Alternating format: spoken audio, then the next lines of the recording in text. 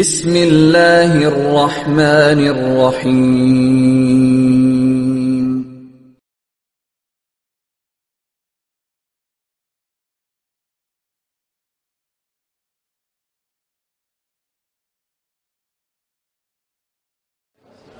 بسم الله الرحمن الرحيم. الحمد لله رب العالمين. والصلاة والسلام على سيدنا محمد وعلى آله وصحبه أجمعين. وعلى كل من تبعهم بإحسان إلى يوم الدين. اللهم علمنا ما ينفعنا وانفعنا بما علمتنا وزدنا علما. سبحانك اللهم لا علم لنا إلا ما علمتنا إنك أنت العليم الحكيم. اللهم أرنا الحق حقا وارزقنا اتباعه وأرنا الباطل باطلا وارزقنا اجتنابه. بعد. Respected brothers and no sisters, Assalamu alaikum wa rahmatullahi wa barakatuh. Alhamdulillah, all praise is for Allah subhanahu wa ta'ala. We thank Him for granting us this unique opportunity to be here at this retreat, weekend retreat. I would like to personally thank the Sufa Institute for organizing this retreat, inviting all of you and giving me also the opportunity to be with you and spend some time, inshallah. May Allah subhanahu wa ta'ala accept their efforts, reward all of them and you and all of us, inshallah for attending and taking some time out. Take a break, take time out.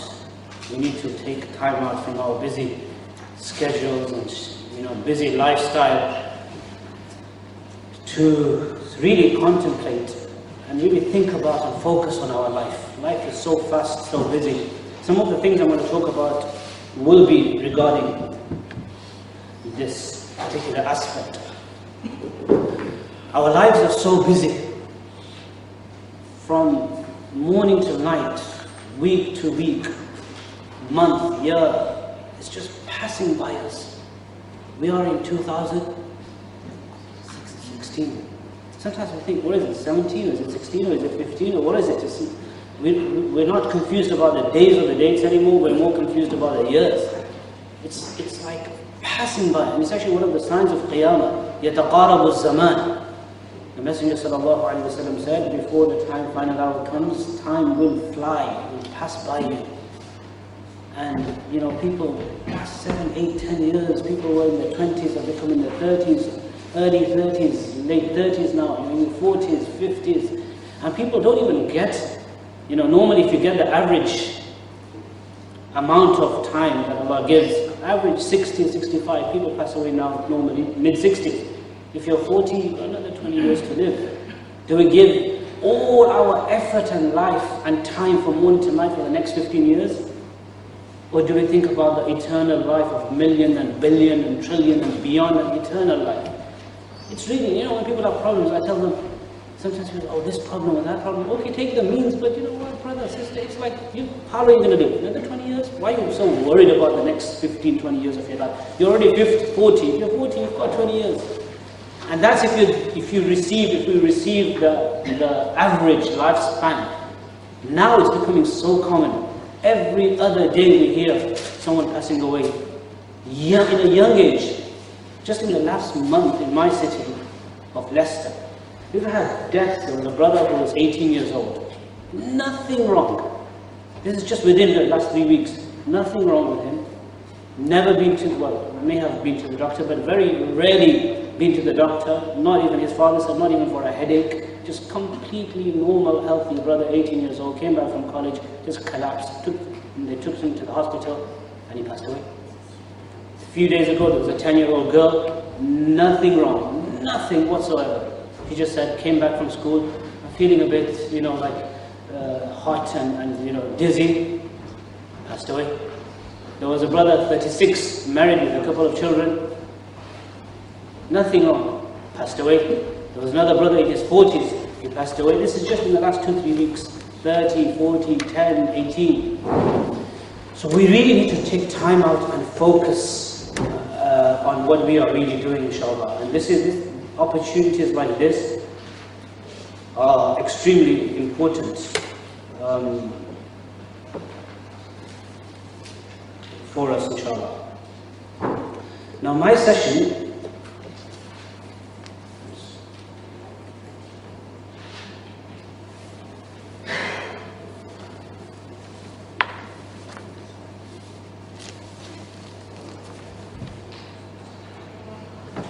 is about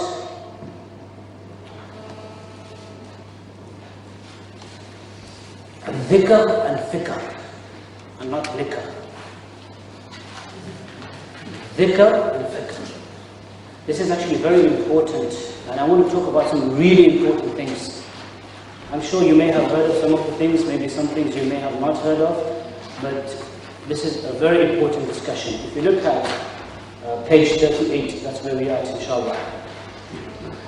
Remembrance of Allah, dhikr, and contemplation known as fikr, fikr, not fikr, fikr, dhikr. It's not really dhikr, it's actually dhikr in Arabic. Dhikr and fikr, or tafakkur.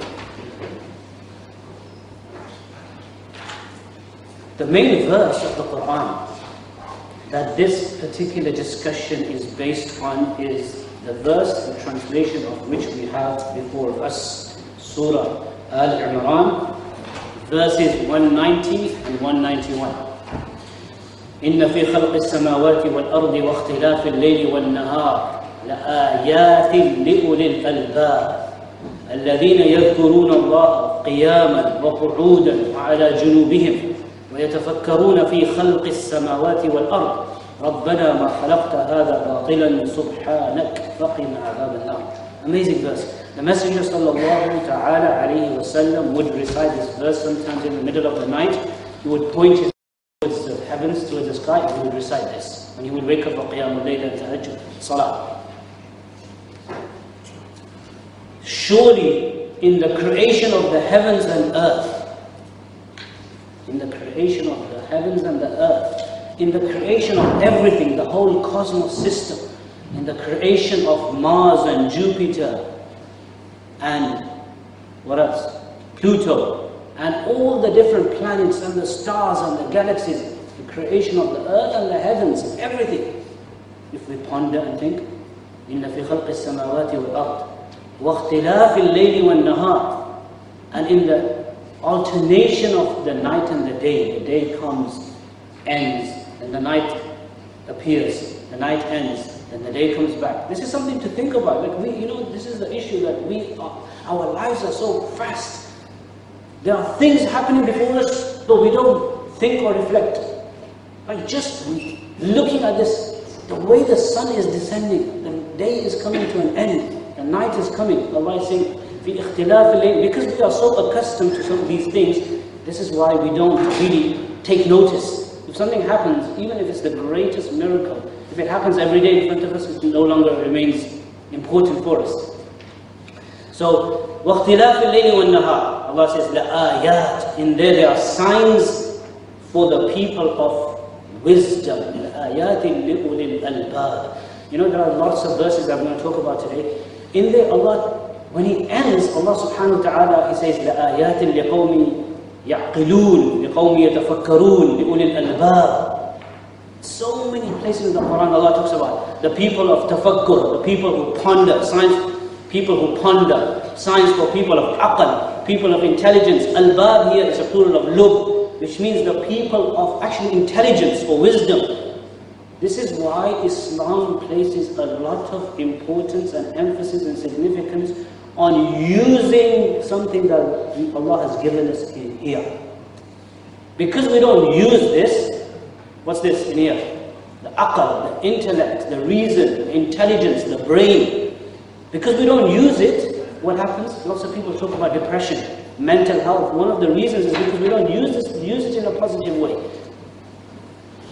This aql Allah has given us, Islam gives us guidelines on utilizing the brain. If we don't use it, like anything, you have a car and it just sits there for five years, you've never driven it, you don't ever put the engine on, it gets rusty, engine things problem.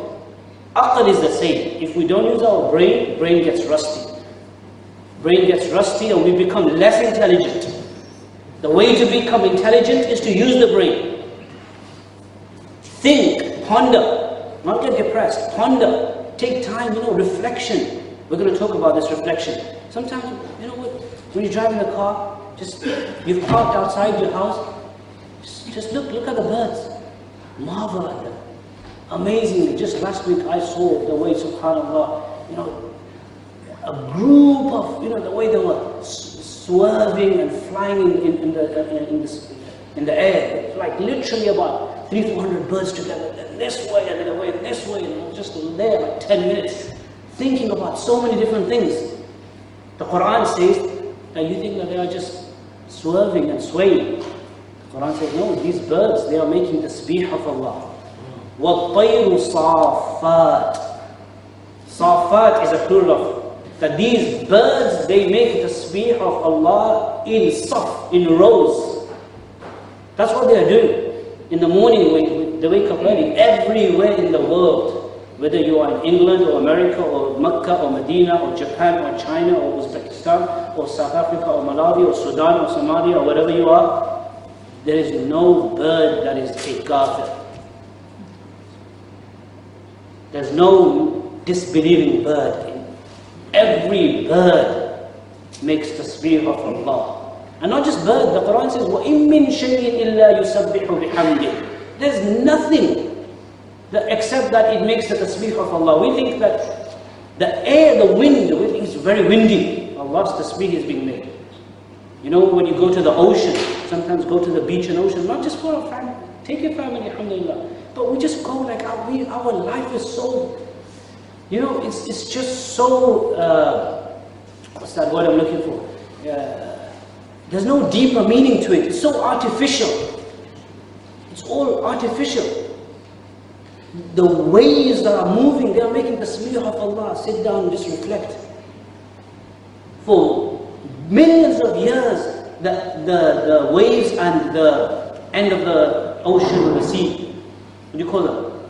The waves, the waves and maybe not surfing, but just the, end of the ocean when they come to the, the, land on the shore. But, you know, is there another word for that when the waves are hitting like? Whatever. Okay, you understand what I'm saying. That's also making tasbih of Allah. So I was saying, the time is short, but what I was saying that so many places in the Quran, the ayat liqawmi yatafakkarun, the ayat liqawmi yaqilun, signs for the people of aql, signs for the people who think. In this verse, Allah says, this is the verse, the basis, in the alternation of the day and night, there are signs for the people of wisdom. لِأُولِي الْأَلْبَابِ The people who have lub. Labib means an intelligent person. The person of intelligence sign for him. The one who is not intelligent, the one who lives in this small artificial life like he, for him is only my car, my job, my factory, my husband, my wife, my brother, my sister, my son, here, there, okay, job, tax office, this office, post office, bank, okay, just live. For that person, there's no science. He doesn't live in a spiritual way. Everything is just physical, artificial. 60 years, you just go fast, fast life, nothing. There's no deeper meaning to life. Allah says, لَآيَاتٍ لِأُولِي الْأَلْبَابِ this, There are signs for the people of Albab. And then we ask Allah, Allah tells us, who are the people of Albab? Straight away, next verse. The person of intelligence, the person of wisdom, the person of brain, the person of spirituality is not the one who thinks about just worldly aspects. It's the one الذين يذكرون الله قياما وقعودا وعلى جنوبهم ويتفكرون في خلق السماوات والأرض those who remember Allah standing and sitting and lying on their sides, in, meaning in every state, and ponder on the creation of the heavens and the earth, and then they say, رَبَّنَا مَا خَلَقْتَ هَذَا بَاطِلًا O Lord, our Lord, you have not created all of this in vain. We proclaim your purity. فَقِنَا عَذَابَ النَّارِ Save us from the punishment of fire. So this is the main verse. There's two things mentioned. Allah says, who are the people of aql? Who are the people of wisdom? Who are the people of intelligence? Those who الذين يذكرون الله those who remember Allah قياما وقعودا وعلى جنوبهم وَيَتَفَكَّرُونَ and then they ponder. They do dhikr and then do, they do fikr. You know, fikr, sometimes people misunderstand the word fikr. Lots of people are from the subcontinent background and they know Urdu, Punjabi, whatever. That's why they mis- misunderstand. Because it's a similar language and sometimes same word used in Arabic has a completely different meaning. Like adab in Urdu means something else, in Arabic adab means something else. This is why lots of people make mistakes from the subcontinent because the Urdu language is similar. Words are used, but in Arabic it's a different meaning. The word fikr in Urdu, for those who speak Urdu, means what? Worry, concern. In Arabic, fikr doesn't mean that. That's why I put slash tafakkur. Fikr in Arabic, or another word, tafakkur, means reflecting, meditating, pondering, thinking. That's what tafakkur means. الذين يذكرون الله ويتفكرون. They do two things. And this is our responsibility. Every one of us, our responsibility is to do dhikr and tafakkur. Dhikr and fikr. This is what we have to do.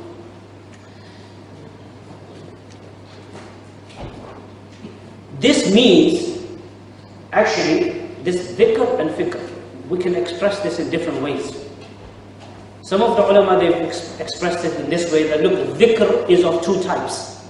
Dhikr lisani and dhikr qalbi. Dhikr lisani is dhikr of the tongue. Dhikr qalbi is the dhikr of the heart and the mind. Tafakkur means, you can say dhikr and fikr, or you can say this is dhikr lisani, verbal dhikr, and the other one is dhikr qalbi, heart and mind dhikr. Do you understand my point? First one is called dhikr, the second one is called fikr or tafakkur, or you can say first one is dhikr lisani, and the second one is also tafakkur is dhikr of the heart. Understood? Yes? First one is dhikr of the tongue, and the contemplation, tafakkur, is dhikr of the heart and the mind.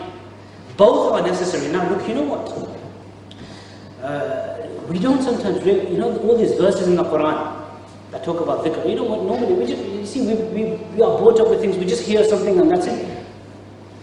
We hear, make dhikr of Allah. Suddenly, what, does, what comes to our mind? Make dhikr of Allah. Okay, let me take a look at dhikr of Allah. La ilaha illallah, la ilaha illallah, la ilaha illallah, subhanallah, subhanallah, alhamdulillah, Allah. Yes, that is part of dhikr. You know, but if you look at all these verses in the Quran, the literal meaning of dhikr, what is the literal meaning of dhikr? Dhikr means to remember. If I say to you, brother, remember your brother. If I say to you, do you have a brother?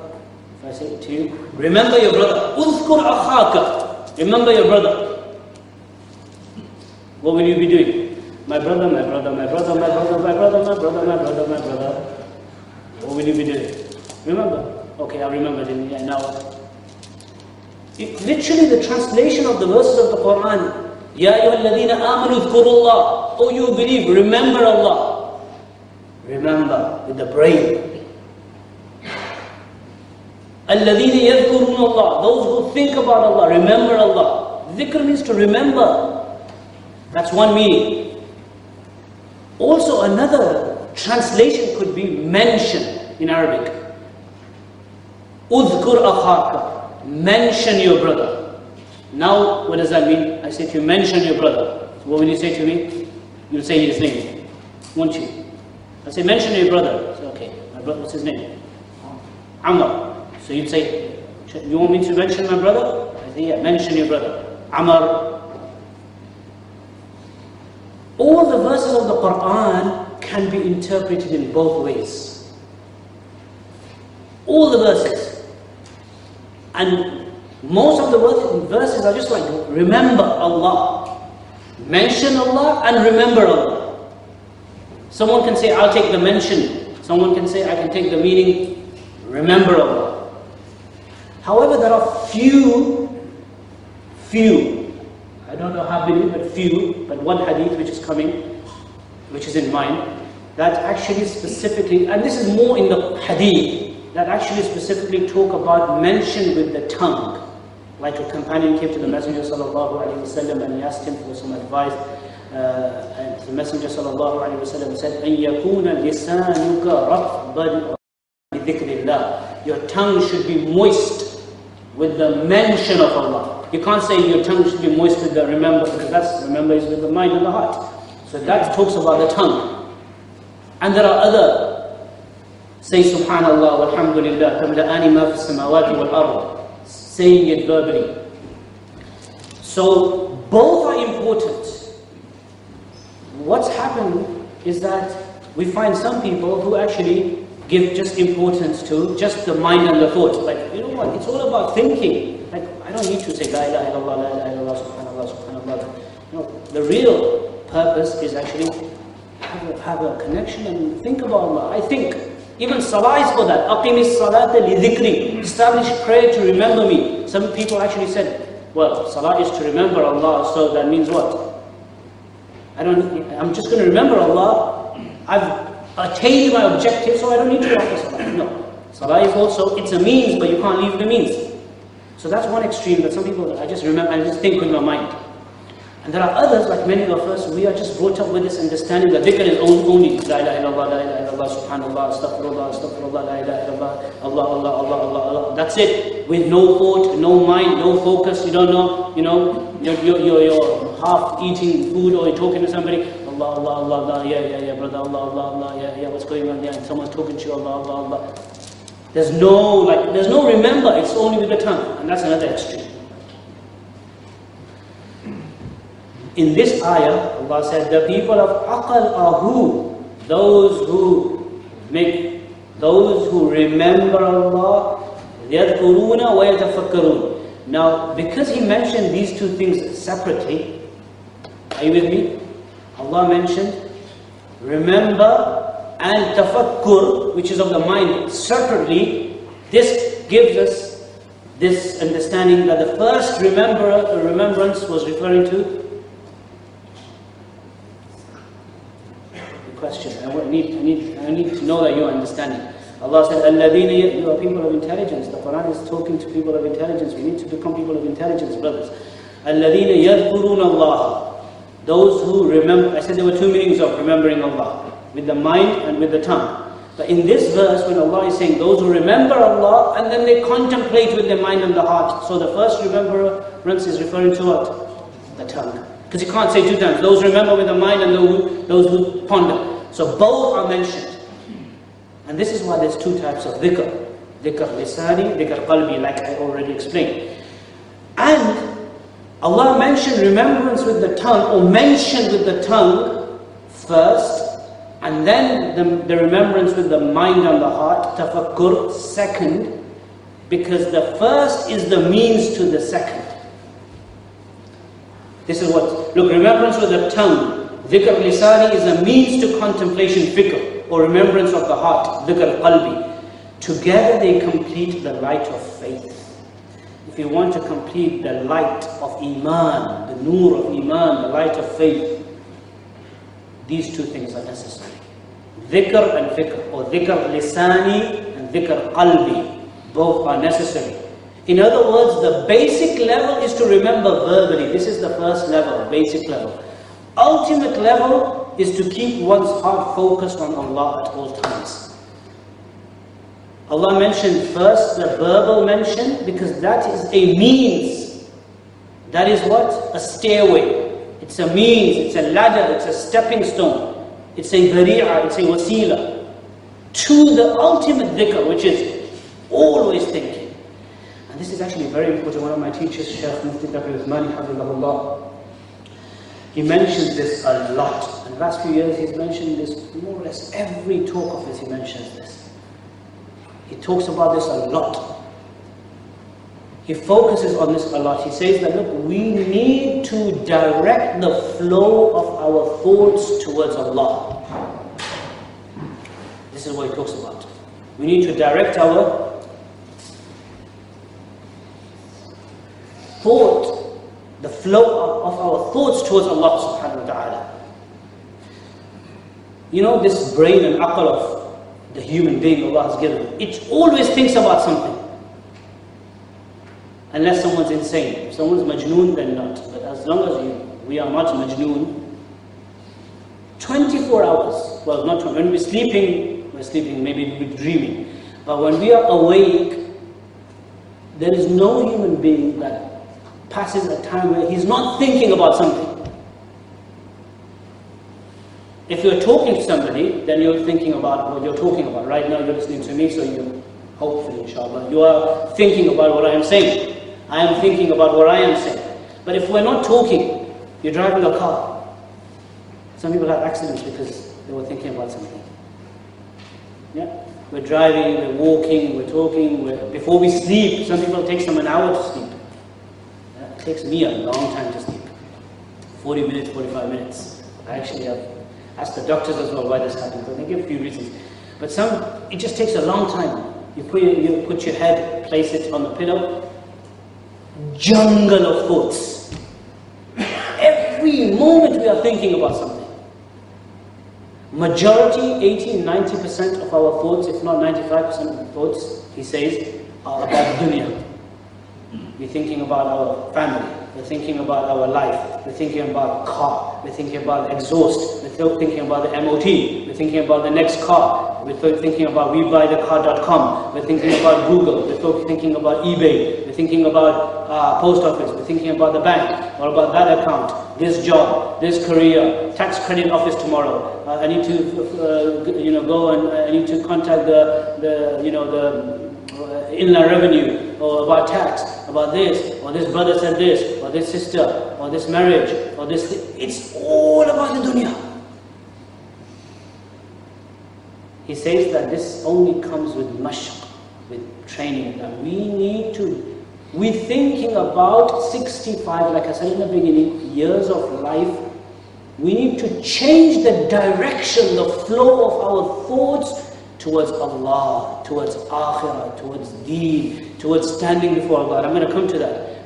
Think about, look, you know, when you're driving, inshallah, imagine one day we'll be in Jannah. We'll be, think positively. Inshallah, we'll be in Jannah. We'll be standing before Allah. Allah says in the Quran that, you know, what the hadith says will be, there'll be the beatific vision of Allah. How will that vision take place?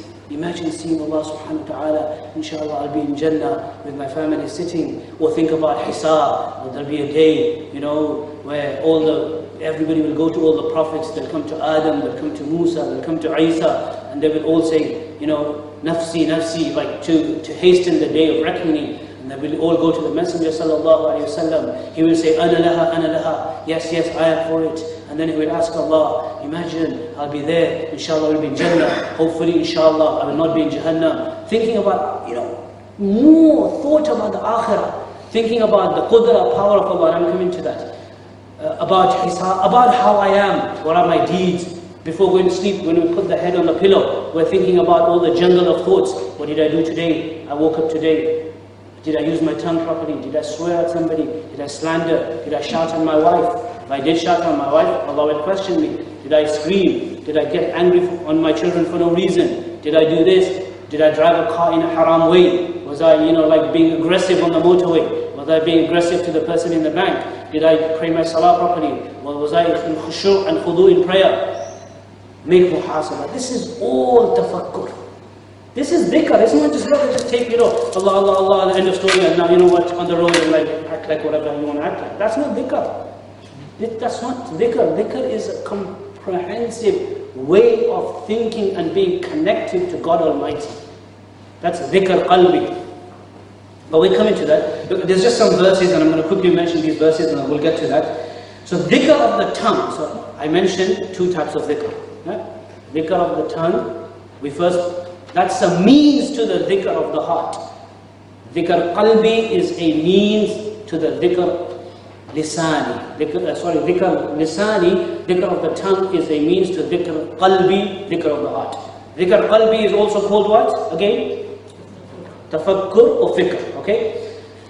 So dhikr of the tongue, what is dhikr of the tongue? Any utterance of glorification, tasbih, that's also dhikr. Tasbih, what's this? This is, by the way, not mine, okay? I don't have a problem with it, you know, but, but I don't keep one, so this just yours here, just for the records. What's this? What's this?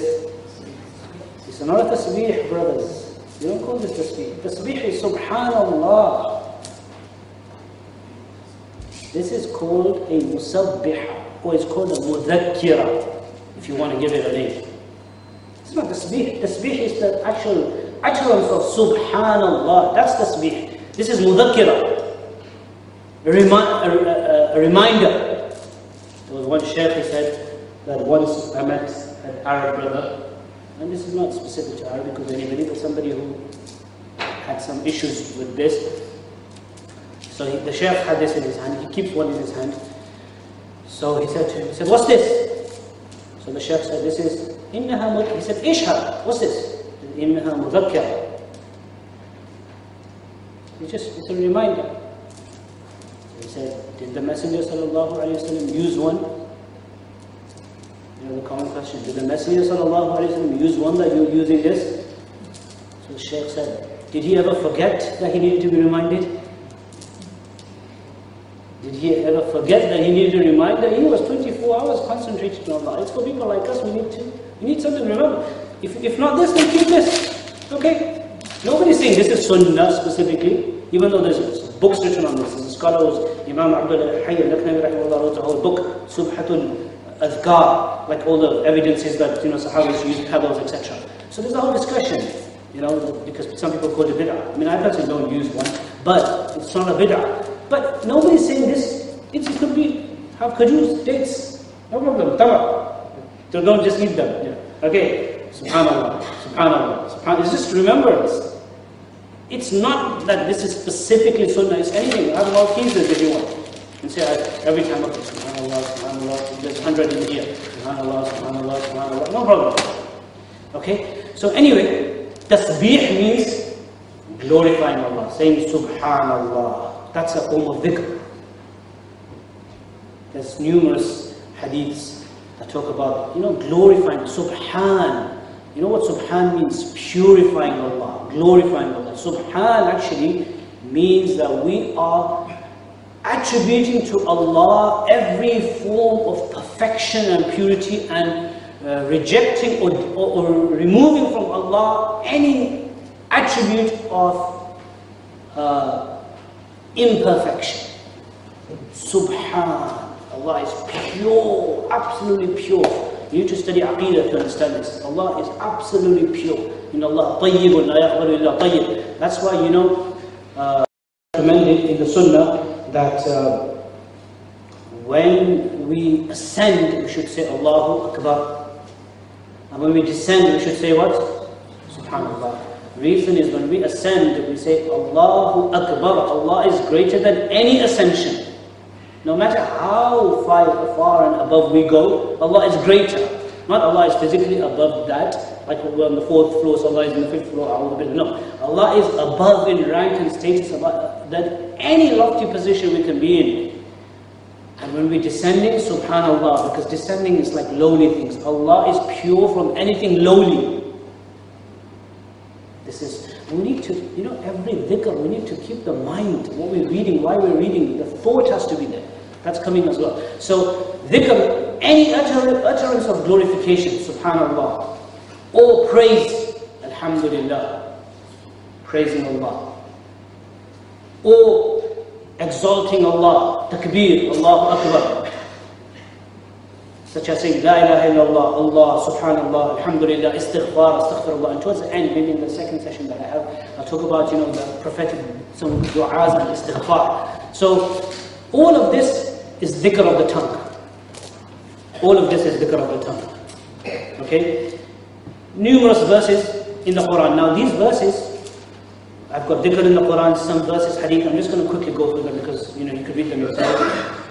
There's there's literally the Quran is filled with verses emphasizing dhikr and giving us the importance, the ahmiyah of dhikr and the benefits of dhikr. It's so many verses. You know, literally 30, 40 verses. So many verses in the Quran. Just a few here. Now this, these verses, like I said in the beginning, I have used them here in the context in the context of dhikr of the tongue. Because there are specific verses for dhikr of the heart, tafakkur. But actually these verses can also be used for dhikr of the heart. Remember, like I said, I gave the example of this brother here. The word dhikr means to remember, or it could mean to mention. Okay? So let, look at the first verse. فَاذْكُرُونِي أَذْكُرْكُمْ وَاشْكُرُوا لِي وَلَا تَكْفُرُونَ Remember me, I will remember you. Or you can say, mention me, I will mention you. This verse, Allah says, remember me. It could be remembrance. If I, like I told his brother, I said, remember your brother. He didn't say, my brother, my brother, my brother. What did he? Yeah, I thought of that. Or the translation could be, mention me. Then you say, okay, my brother, verbally. Do you understand what I'm saying?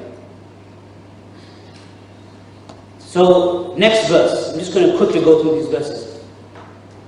Surely Muslim men and Muslim women, this is a famous verse, إن المسلمين والمسلمات والمؤمنين والمؤمنات والقانتين والقانتات والصادقين والصادقات والصابرين والصابرات والخاشعين والخاشعات والصادقين والمتصدقين والمتصدقات والصائمين والصائمات والحافظين فروجهم والحافظات والذاكرين الله كثيرا والذاكرات أعد الله لهم مغفرة وأجرا عظيما uh, Al-Ahzab 35 Allah talks about, you can read it yourself, Allah talks about, you know, gives all the qualities of Muslim men, Muslim women, believing men, believing women, devout men, devout women, truthful men, truthful women, all the way, you can read the list. Those who preserve and protect their private parts, men and women. And then at the end, those who remember Allah, those men who remember Allah and those women who remember Allah.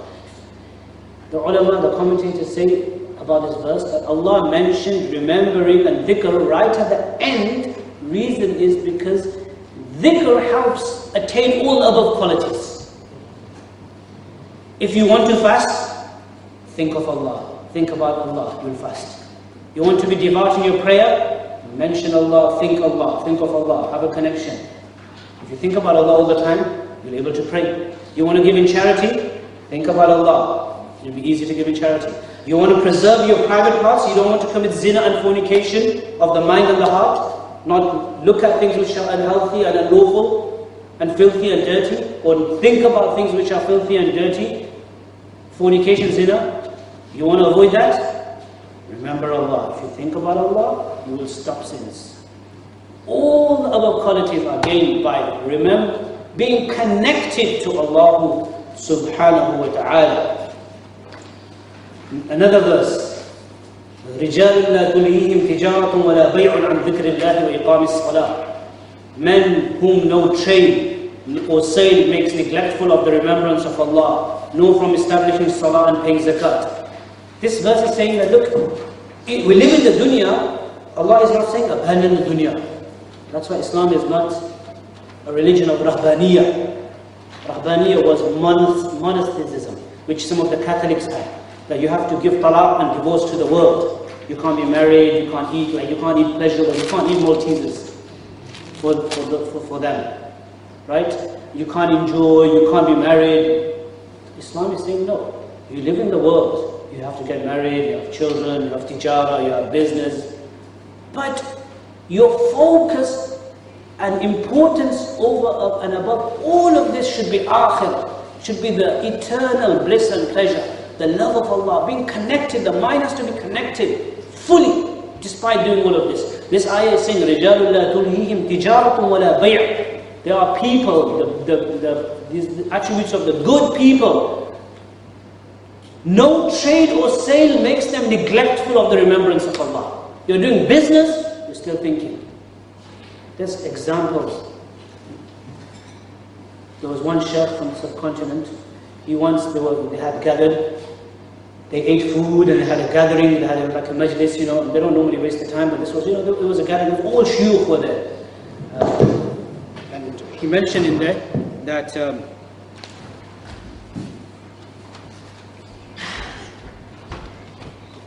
down.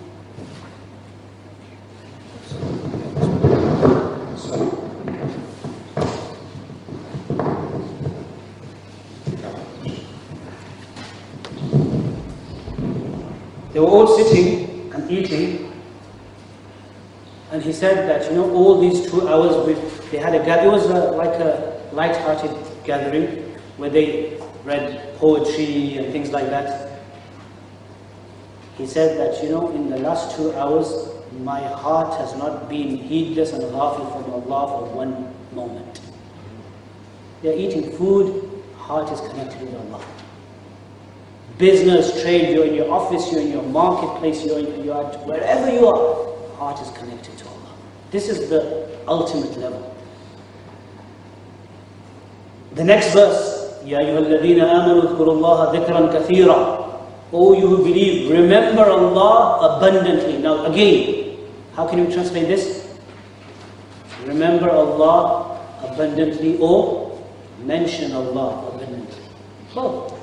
Mention so. Mention with the tongue. Allah, Allah, Allah, Allah, Allah, Allah. Just keep on mentioning, no problem. But also try to remember it. You see, the dhikr has to do with the mind. Not just dhikr, everything. Now, you know, when I come to tafakkur, I'll mention this. Uh, next verse, I'm just going to quickly, because time is short and I need to talk about the other part. Those who believe and their hearts are peaceful with the remembrance of Allah. الَّذِينَ آمَنُوا وَتَطْمَئِنُّ قُلُوبُهُم بِذِكْرِ اللَّهِ أَلَا بِذِكْرِ اللَّهِ تَطْمَئِنُّ الْقُلُوبُ You must have heard of this verse. Here, everybody hears this verse. Very in the remembrance of Allah, there's peace of the heart. It's, it's not only in the dhikr with the, the tongue, peace of the heart. That's why one of the um, cures for mental health and depression is the tafakkur, is dhikr of the heart. Actually, a couple of weeks ago, I had a lecture in Dublin University, and they, they were saying that there's a big issue here amongst university students of mental health, like major mental health problems. So my whole talk was Islam and mental health. And I did the whole talk on tafakkur. To cure depression, mental health, is dhikr, but dhikr of the heart, which means tafakkur Okay, which we're going to talk about, tafakkur. Uh, the next verse as well. Uh, once the salah is over, disperse in the land and seek the grace of Allah and remember Allah abundantly. Like once you offer salah, then go.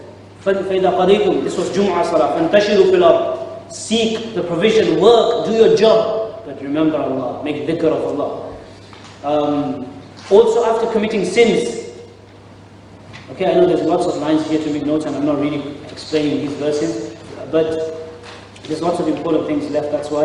Uh, and those who, when they happen to commit a shameful act or wrongful, or wrong themselves. وَالَّذِينَ إِذَا فَعَلُوا فَاحِشَةً أَوْ ظَلَمُوا أَنفُسَهُمْ ذَكَرُوا اللَّهِ When we commit sins or something obscene, Quran says, after that make tawbah, that's also dhikr. Tawbah is dhikr. ذَكَرُوا اللَّهِ وَاسْتَغْفَرُوا لِذُنُوبِهِمْ Istighfar is dhikr. So a good time to make dhikr of Allah and remember Him and turn to Him and make tawbah and istighfar is after a sin is committed. As I said, numerous verses. Dhikr in the Sunnah, but there's a hadith here in Sahih Bukhari. The difference between the one who makes dhikr and the one who doesn't make dhikr is like the difference between the living and the dead. Because the dead, the mind is not working. The tongue, the dead is. Is this working? No.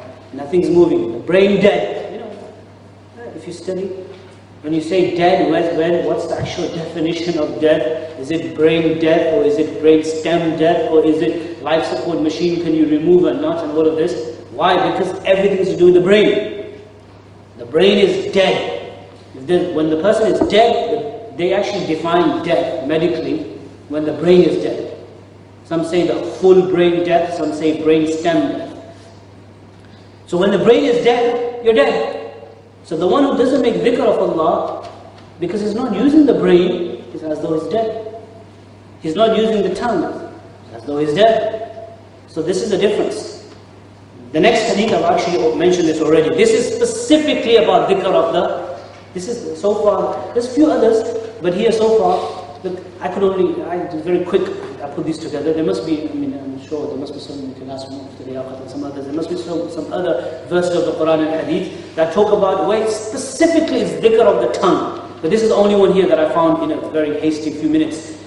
أن يكون لسانك ratban bi-dhikrillah. The Messenger sallallahu alayhi wa specifically mentioned, do not let your tongue be moist. Make sure ensure your tongue is moist with the mention of Allah.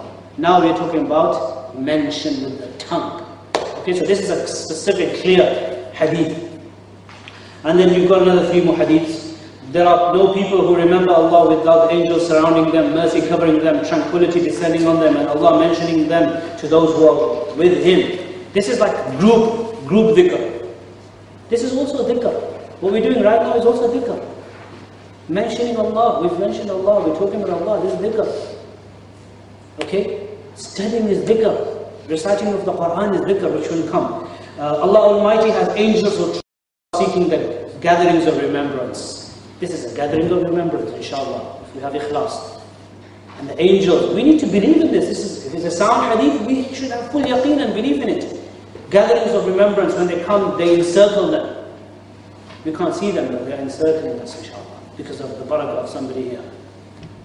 We have to believe this focused mind. This is a real spiritual way of living where we, we firmly believe. And then the last hadith, when you come upon the meadows of the garden, graze in them. The Messenger ﷺ was asked, What are the meadows of the garden? He said, Circles of remembrance, gatherings of remembrance, gathering of dhikr.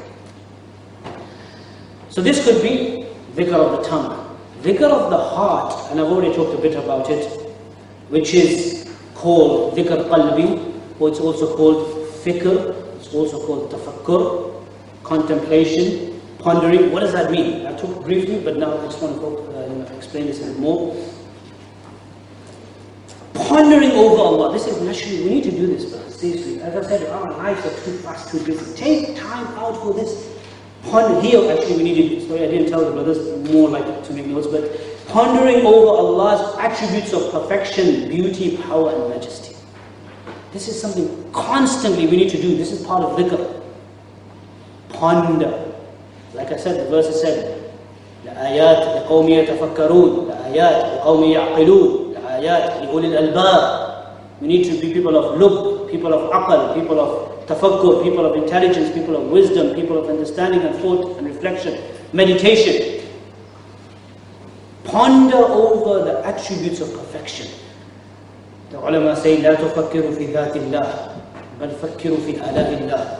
Don't ponder on the that. We can't understand the essence. If you study aqidah, the, you know, I've been teaching aqidah tahawiyah for quite a few years. The final conclusion I tell the students is the conclusion is dhat we can't understand Allah. The conclusion of studying Allah for the whole year is that we don't know, we can't understand the essence of Allah. You have to, if you want to understand the reality, the essence of Allah, you have to be God yourself. To understand a businessman, you have to be a big businessman. You need to, understand a doctor, you have to be a medic. Right? A non-medic can't understand a medic. You can't understand the essence, the dhat of Allah. That's what Godhood is. This is why we have been told to ponder and reflect on everything else from the qudra and the majesty power of Allah. Every place and everything before us is a sign. وَفِي كُلِّ شَيْءٍ وفي كل شيء آية تدل على أنه واحد Everything there's a sign that there is only one Allah. This is not a hadith, it's a saying of one of the early scholars. Everything, everything around us. I mean, that's why we come to places like this. Just, subhanAllah, amazing. Look at the tree, glass, ponder, reflect. Everything is a reflection. And thought, it takes you to Allah. Despite we not being able to see Allah in this life with this, these eyes, everything is a clear proof. And we need to think, ponder over the perfection. Look at, think about Allah's attributes. Study aqidah and learn the attributes of Allah. The qudra of Allah, the power of Allah, the beauty of Allah, the jalal and jamal of Allah, the kamal of Allah. Subhanahu wa ta'ala. This is such a vast subject. This is part of dhikr. The Quran gives us invitation to the tafakkur. So many places the Quran talks about tafakkur. So many places. So many times we just we pass by them. We don't even think like you know this verse. إن في خلق السماوات والأرض. There's another verse. إن في خلق إن في خلق السماوات والأرض واختلاف الليل والنهار والفلك التي تجري في البحر بما ينفع الناس وما أنزل الله من السماء من ماء فأحيا به الأرض بعد موتها وبث فيها من كل دابة وتصريف الرياح والسحاب المسخر بين السماء والأرض لآيات لقوم brain لقوم يعقلون in the creation of the heavens and the earth, the alternation of the night and the day, and the um, ships and boats that are, that are carrying things which benefit people on the, on the sea and in the uh, rain that Allah sends and all the creatures, animals, subhanAllah, brothers, animals are an amazing way to do tafakkur of Allah. Like go to zoos and spend time, like just think and ponder, reflect, like look at amazing. Some creatures are, the way they are created, different creatures, just in the ocean, submarine, you know, in Barbados. If you go to Barbados, and many other places maybe, but I went one in Barbados, they go take you right deep in a submarine and you look at some, like, amazing, amazing. There's thousands of creatures of Allah. Thousands. Each one of them makes you think about Allah. And Allah says the, the, the riyah, the wind, and everything there's a sign. There's a sign. Allah says about أَفَلَا يَنْظُرُونَ إِلَى الْإِبِلِ كَيْفَ خُلِقَتْ Don't you ever look at, inshallah I'm going to try to conclude in the next 10 minutes. أَفَلَا يَنْظُرُونَ إِلَى الْإِبِلِ كَيْفَ خُلِقَتْ Don't you look at the camels, how they've been created? Here we can't, we can't look at camels here. That time, you know, they could only think about camels, that's why Allah said camels. But this could include any means of transport. Look at some cars. Don't like, oh, cars, I want that car. No, but just look at it. Here we can't look at camels. So Allah says, let's go and act upon. Take your family and go to a place to act upon this verse. Quran says, Siru fil ard. Travel in the earth. Fanduru. Look around you. This is tafakkur. This is dhikr of the heart. أفلا ينظرون إلى الإبل كيف خلقت وإلى السماء كيف رفعت Look at the heavens and the sky, how it's been raised. We can see that. وإلى الجبال Look at the mountains. Travel, go to Scotland if you're not from Scotland. Somebody said there's quite a few people from Scotland. Alhamdulillah, Allah has given you opportunity to look at some mountains. In England, we don't see mountains, it's sad, like we see hills. Go to places, like don't go for a trip with your family, just beach and that's it, and worldly, you know, hotel and five-star hotel. No. If you want to make a journey, go to a journey where you see the, you reflect on the ni'mah and the, the sorry, the, the majesty and the beauty of Allah. And act upon this, Allah will reward you. إِلَى الْجِبَالِ كَيْفَ نُصِبَتْ How the mountains have been installed. وَإِلَى الْأَرْضِ كَيْفَ سُطِحَتْ Look at the earth, how it's been displayed or how it's been spread out for you. When you take water, think, where did this water come from? We just like, okay, alhamdulillah, brother came in, gave me a bottle of water, I drank it, didn't even think, why did I drink this water, where did this come from? Islam is telling, no, before think. You should try to do much for two years, do this, then it will automatically water will come. How did this beautiful mineral water come to us? And the Quran tells us this.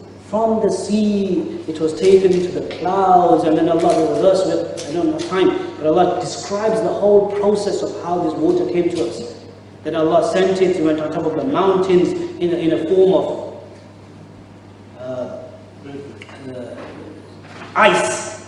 And then slowly, slowly, you know, streams were sent. We just like, alhamdulillah.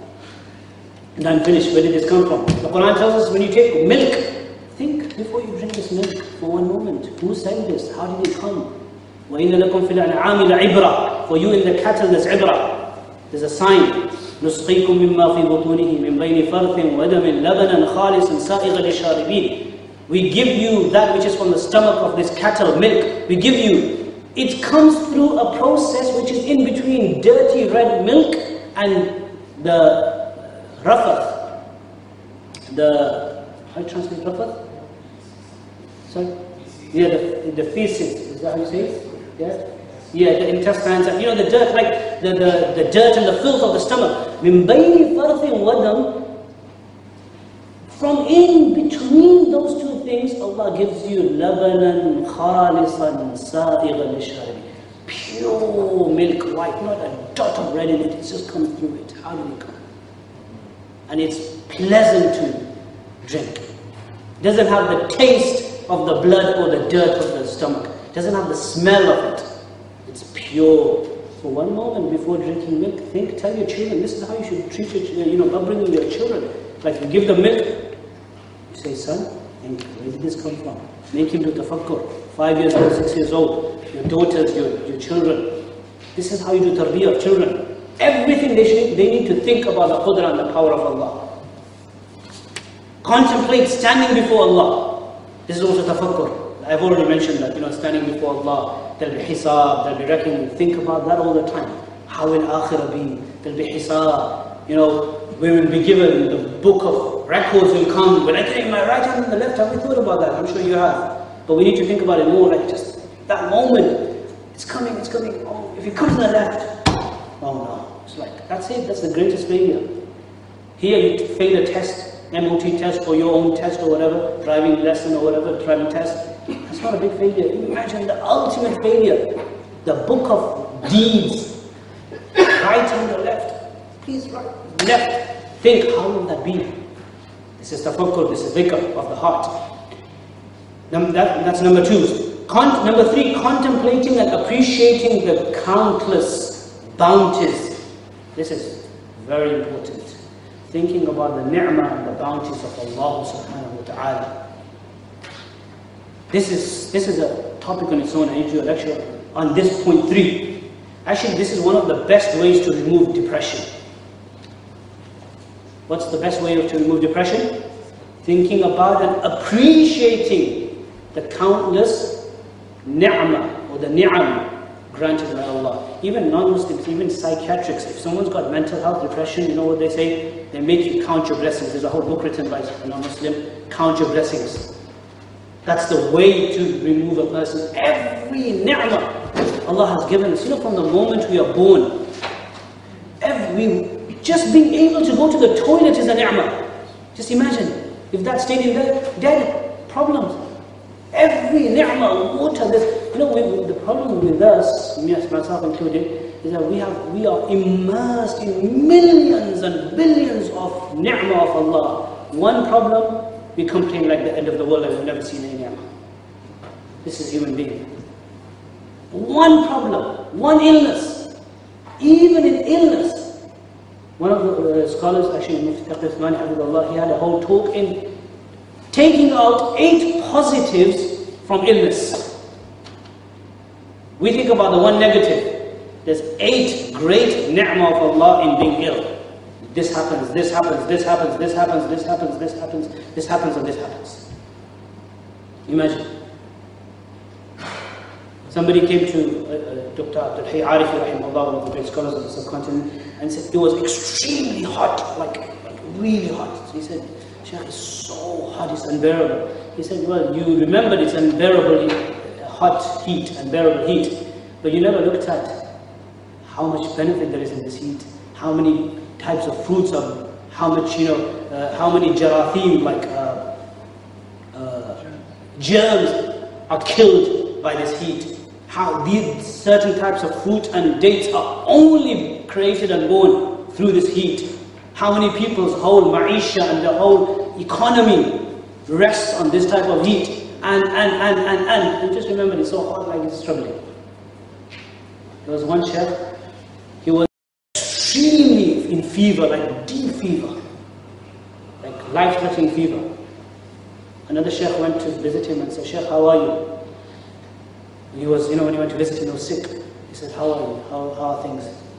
He said, Alhamdulillah, my eyes working perfectly. My ears, Alhamdulillah, no problem. My mouth, I can talk, Alhamdulillah. My hands, Alhamdulillah. My feet, Alhamdulillah. I can eat, stomach, Alhamdulillah. He said about 20 times, Alhamdulillah, thought about 20 different ni'mah of Allah. However, there's one, I've got this extra, extreme fever, make dua, that becomes Alhamdulillah as well. First thought about 20 positive ni'mah of Allah. Mufti Shafi' rahimahullah, who is the father of Mufti Taqi Uthmani, he explains this in a beautiful way. He says, you know what we do? We look at our life in opposite way. We read our life story, we read our lives upside down. We need to read it the correct way. When we have a problem, we look at the problem but not the positives. He mentioned this after, and I will conclude inshallah, but he mentioned this when he was in his old age. He had a son, eldest son, he was 51 years old, and he passed away. How old? 51. So naturally, family members are sad. People are crying. No problem, crying, being sad, it's okay. But some people start saying, you know, like, "Ah, he went so early. He wrote a letter to all his family members. And he said, look, you guys think of this. There's one way of taking this complaining, he was so young, he was only 50, he passed away too early, he didn't even see the marriage of his children, you know, this, this, this, you can complain and just be depressed about 20 different things. That's looking at your life upside down. The right way of looking at this incident is look, every person in this world did not have a God-given uh, right to come. Everyone has come for a short period of time. Everyone has to go. So death was written, whether 20 years down the line or today, when he was 65 or 70. He actually, this, his son actually went Hajj, and he just came back from Hajj. So he said, look, look at him positively. Allah gave him 51 years, he could have given him 20. Why don't you look, Allah has given him 51 beautiful years. He just went and performed Hajj. He came back pure from sins. He actually had a son who was studying there in Medina. He said, look, he went and met his son there, spent two months with him. He also made khidmah. Got that. Came back, met everybody else, invited people. He looked at all the positives. And then Allah took him in such a nice way. What better way to go to Allah than this? This is reading our lives the right way, not the wrong way. When we sit down to eat together, like right now we'll be eating, right now, there's about eight, nine ni'mah of Allah just on one food table. The food is a ni'mah. The food could be very good food, but imagine you've got a stomach problem. Can't eat. So another alhamdulillah for no stomach problem. Imagine uh, you don't have a stomach, you, you, uh, you're not hungry. That's another. Being hungry is another ni'mah. So food is there. Being hungry. If you're not hungry, you can't eat. So Allah gave hunger. Number three, you're hungry, but there's a problem in the stomach. Can't eat, no problem. Okay, no problem in the stomach, but you have like some things you can't, allergies, you can't eat. No allergy. Or you could have all of that, but imagine a sudden sad news comes from Allah forbid. Like someone's passed away something, everything's there, but you can't eat. No sad news as well. And then everybody eating together in a nice way. That's another ni'mah. All of in one food invitation or one food table, there's about seven, eight ni'mah of Allah combined. Each one of them requires that we say Alhamdulillah. Each one. That's why some of the scholars say that you know drink water as cold as possible so that Alhamdulillah comes out properly. Alhamdulillah. You know in iftar time, iftar time when we eat, and when we drink water, lots of people, that's why the dua is ذهبت الظمأ وابتلت العروق like you're so dry throat, drink water. Alhamdulillah. The veins have become wet like it's all Alhamdulillah. Drink as cold as possible so that every part of your body says Alhamdulillah. There's so much ni'mah of Allah. You know, this is why the hadith says, look at people below you in the dunya. There's millions of people who are disabled, there's millions of people who can't even drink, just water is the one. It's like the greatest ni'mah for some people. If you give them this, they haven't seen this in five years of their life, like this is more than gold and silver for some people. We take it for granted. Everyone lives in their own small, you know, problem. with, This is what I said to some people. You know, hardship and problems in life, everybody has their own definition. My problem, definition of problem is like something. The one in, in a village in Somalia, his problem definition is that he hasn't eaten for five months. It's relative. Anyway, I'm concluding. Think about the ni'mah of Allah subhanahu wa ta'ala. And last, lastly, also part of the tafakkur is considering one's obligations towards Allah and His creation. I've already talked about this. Also part of tafakkur, make muhasabah, self-reckoning. What do I owe people? Am I fulfilling the rights of Allah? Am I fulfilling the rights of the creation? Two things are necessary to direct the flow of one's thoughts towards Allah. This tafakkur will happen because of two things. One is intense love for Allah Almighty. If we want to do this, we need to create intense love for Allah. Inten you see, look, if you love someone, you will think about that person. If you love someone, you know people who are engaged, they're always thinking about the wife. Yeah, after five years, they're not. well, after five months, they stop thinking. But before, in, at the time of engagement, it's always thinking, it's like it's new, isn't it? If we love Allah, then we'll always think about the khayal, the thought, with the brain, will always be with Allah. And this is like a circle. In order to create love, we need to think about the bounties, ni'mah of Allah. Tafakkur comes through love of Allah. And love of Allah comes through thinking about the ni'mah of Allah. We sit, wow, Allah gave this date. Subhanallah. Imagine somebody, you know, came, every day someone's giving you gifts. Every day someone, I come and give you 100 pounds. Every day. Every day I'm giving you fruits. Every day I knock at your door and give you vegetables and fruits. Won't you have love for me? Because everyone loves the muhsin, the one who does favor on you. Imagine, I Quran, that's why it says, وَفِي أَنفُسِكُمْ أَفَلَا تُبْصِرُونَ In your own bodies, don't you look and reflect? How much would you pay for this eyesight? There's this one imam in the old, olden times, he, he, uh, somebody came to complain to him about some problem with his body. He said, would you give 200,000 dirham if someone took your eyesight to get it back? He came to, he was complaining about poverty. So would you give 200,000 or something like that, dirham or dinar, for the sight that you haven't got? Uh, if, you, if someone takes it, would you pay? He said, yes, of course. Will you pay 200,000 dirham or 100,000 dirham dinar for, for the ear? What about tongue? He made him count all the organs of his body. 100,000 dirham, 100,000 dirham, 100,000 dirham. At the end of it, he said, you, know, you own billions. You're complaining about poverty, you own billions.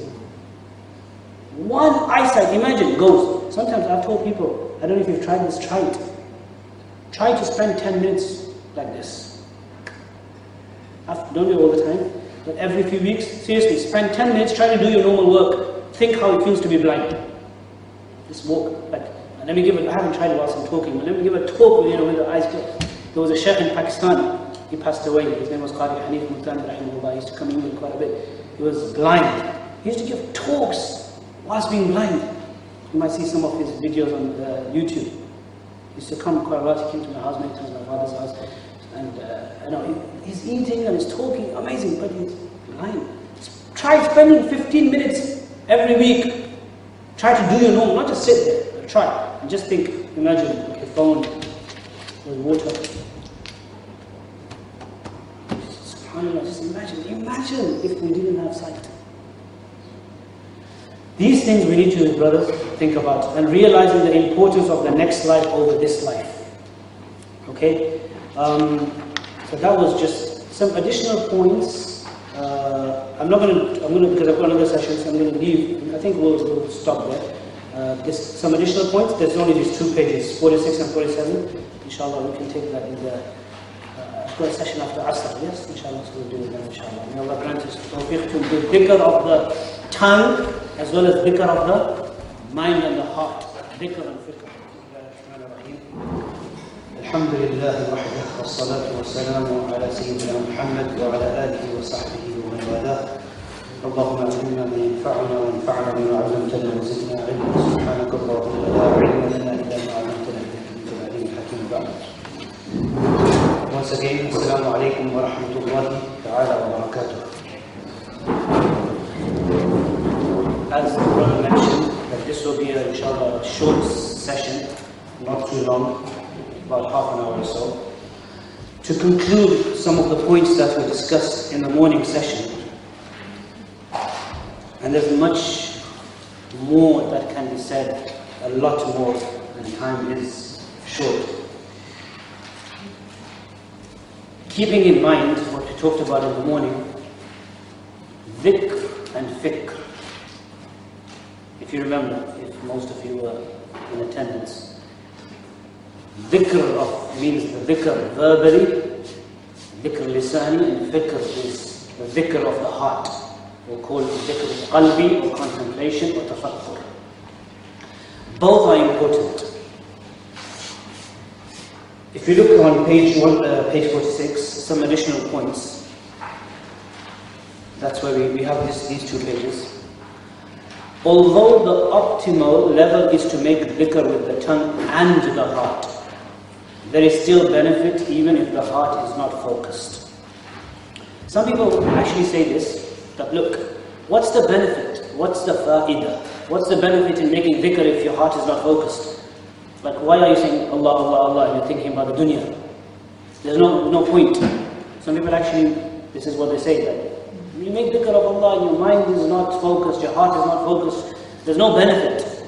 You really need to, it needs to be with the, it has to be with the focus, of course, but So they stop doing dhikr. They say dhikr with the tongue is like it's useless or worthless or not beneficial at all in any way, shape, or form. This is a wrong understanding.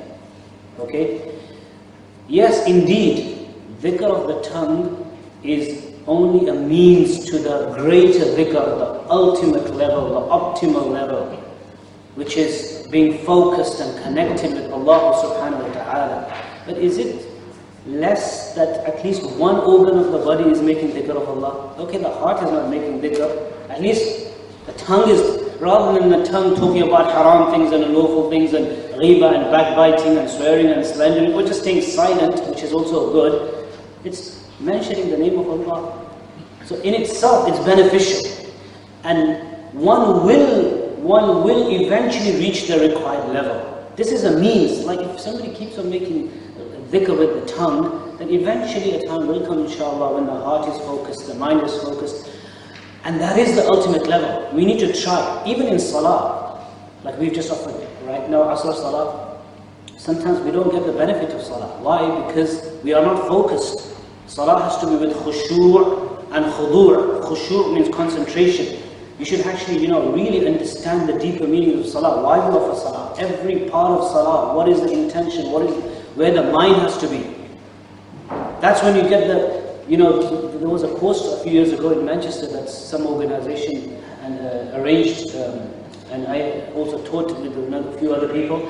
The whole salah from beginning till end when we start, why are we're standing this way, why are we're raising our hands, whichever way we're raising, there's different ways of raising the hands, and that's not, you know, we debate about those issues. There's the inner dimension of salah.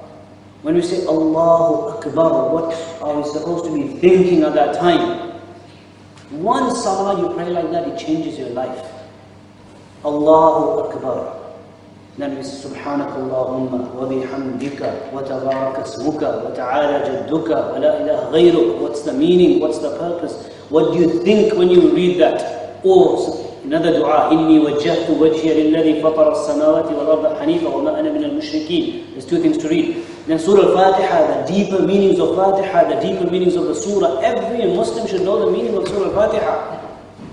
You don't take time out to, you know, read the whole, everything. Surah Fatiha we recite so many times in a day. Every Muslim man, woman should know the meanings of Surah Fatiha and the basic surahs of the Quran. Arab or non-Arab. Allahu Akbar. Subhana Rabbi al-Azim. Why am I saying that? What does it mean? In ruku' Subhana Rabbi al-Azim. With the thought, with the focus. Sami Allahu liman hamida. Allah hears the one who praises Him. Oh Allah, you hear? Okay. Rabbana lakal hamd. For you is all the praise. Allahumma Rabbana wa lakal hamd. Oh Allah, for you is all the praise. The thought. Then in sujood, Subhana Rabbi al-A'la. All the way to the end.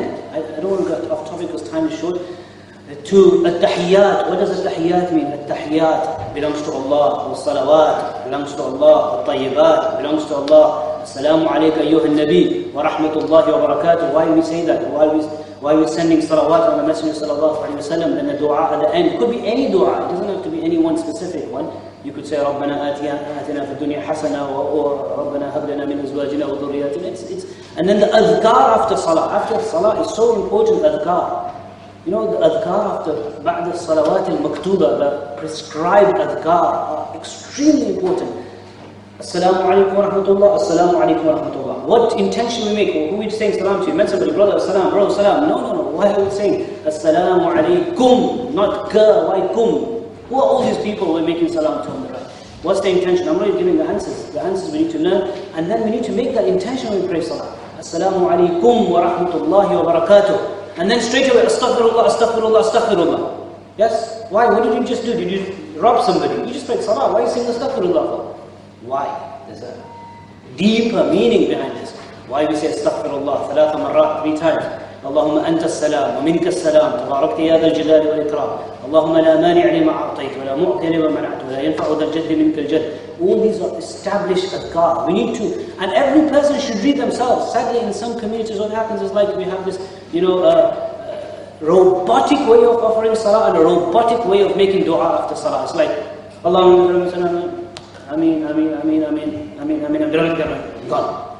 But after salah, each person needs to make dua themselves with their own tongue, the dhikr, it's adhkar, it's after salah, with the thought, with the intention. So, dhikr has to, you know, I was saying that it's, it's still beneficial without the focus, but it's, we need to get to the meaning, to the, to the ultimate level of everything we do with the thought from salah. Salah is a dhikr. Okay, so uh, let me quickly move on. Although dhikr of the tongue is a means to the dhikr of the heart, one should, one should never abandon the former, since it led one to the latter. Now, some, sometimes you think, okay, you know what? Dhikr of the tongue was a means to a level which was that I was focused on Allah. Now, once I'm focused on Allah, I don't need to make, dhikr with my tongue. That's also wrong. It, it was the means. You still stick, you know, you don't forget. You're not, you know, this is being disloyal. The dhikr with the tongue, Allah, la ilaha illallah, astaghfirullah, subhanallah, led you to, led a person to be fully focused on Allah now, connected to Allah. That doesn't mean that now we don't need the dhikr. No, we should still be verbally making dhikr. Verbal dhikr is also important. Both are important. Okay, both. Dhikr, dhikr can be done silently and audibly loudly. There's evidences for both Although silent dhikr is more virtuous.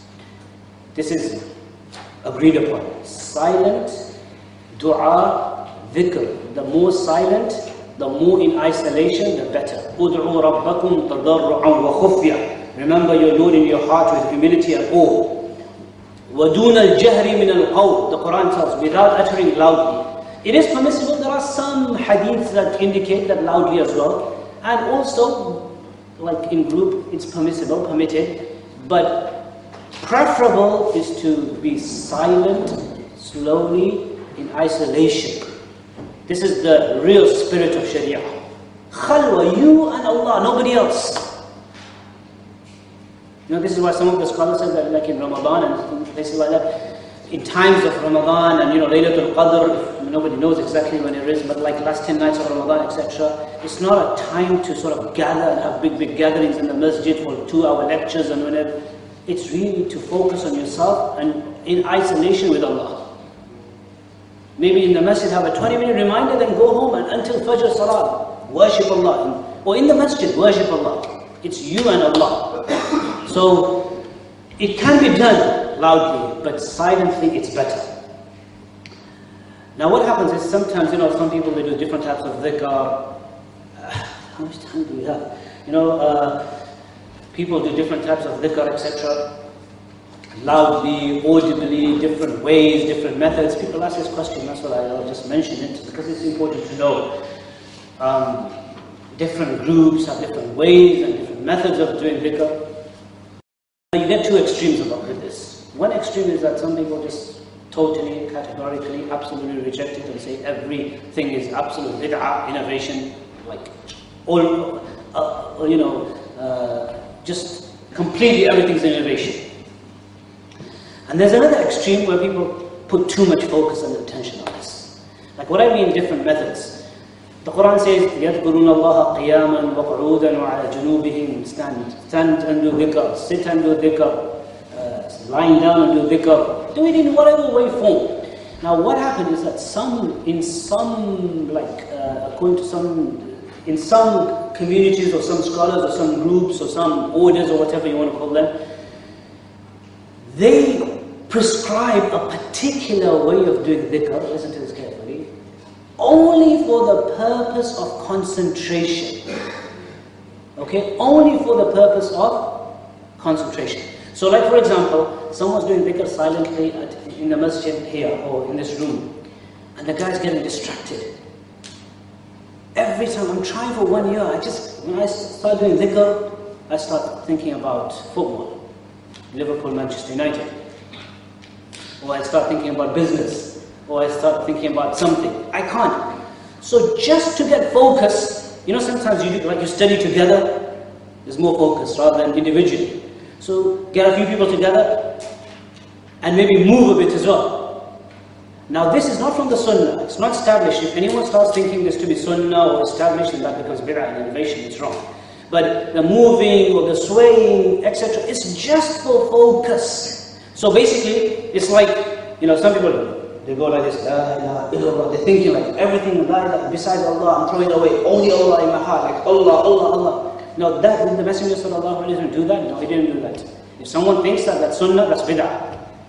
But to also say that it's always bid'ah, that's also going extreme because it's not really you're doing it because of sunnah. It's just for what? Focus. Like if somebody says, you know, if, if, if somebody start doing this, Allah, Allah, Allah, Allah, Allah, Allah, exactly the same. It's like, you know when someone memorizes the Quran, You know, someone, some tells, someone tells you, for you to get focused, you walk and read. I, I, someone says, I need focus, okay, I'm, I'm, I'm sleeping, sleeping. Like, you know, once I was driving a car and I hadn't slept for two nights, and I was driving a car and I was really, you know, like, I shouldn't have, but it was an emergency. Uh, and so I said, well, how am I going to do? Like, I had a coffee, I put the window down, still feeling sleepy. So I just kept moving my head like this, right and left, so I don't drop off. It was about 20 miles. Just this way, this way, just to make sure that if I'm just driving like this, I'm to go like that. So it's just to get focus. Different ways that people do. It's not bid'ah in of themselves, but the problem, the other extreme, is that you know these things, when you don't keep them in limit, there comes a time when people subconsciously or consciously start believing that this is the sunnah. Now, a group might say, our way of doing dhikr, which is like this, is better, or you think it to be more important, or you think maybe it is sunnah. And that's where the extreme that leads people to bid'ah. Therefore, especially in these times, many of my teachers mentioned that just do simple, straightforward dhikr, like silently, there's no need to go into all these different ways. Unless you want a bit of focus, then do whatever. Go, you know, walk on the grass and do it if you want to. Just whatever you feel, you feel you're going to get concentration. Whichever way. Someone says, I'm going in the grass and doing dhikr. Is it bid'ah? Brother, bid'ah. The Messenger sallam, give me a hadith that you went on the grass and did dhikr. Do you need a hadith for that? You don't need a hadith because you're not saying that doing dhikr on the grass is sunnah. You're saying dhikr is sunnah, but not the grass part. That's just for myself. Do you understand the point? So this is, I could explain this in more detail, but I'll just leave it to that. So they are not sunnah in of themselves or more virtuous, and they are not the objective. The objective is connection with Allah. Whatever way you get that object, objective of being connected to Allah, what the objective is concentration, focus of heart and mind. Whichever way a person receives that, then that is best for him, inshallah. So these are different, you know, um, types of dhikr. Dhikr, as I said, dhikr lisani, dhikr of the tongue is very important. You know, like the hadith, the last hadith of Sahih of Bukhari. كلمتان حبيبتان إلى الرحمن ثقيلتان في الميزان خفيفتان على اللسان ثقيلتان في الميزان سبحان الله وبحمده سبحان الله العظيم amazing two statements. سبحان الله وبحمده سبحان الله العظيم this is also the dhikr of the tongue because the messenger sallallahu alaihi wasallam said two statements. If you say them verbally so it should be said verbally.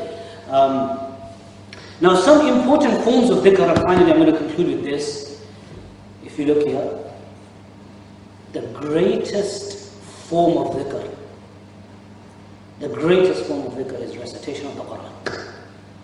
Tilawat al-Quran. There is no better dhikr than recitation of the Quran. It's the highest form of dhikr. If we do not have, brothers and just brothers, sorry, I have a habit of saying brothers and sisters because most programs, brothers and sisters.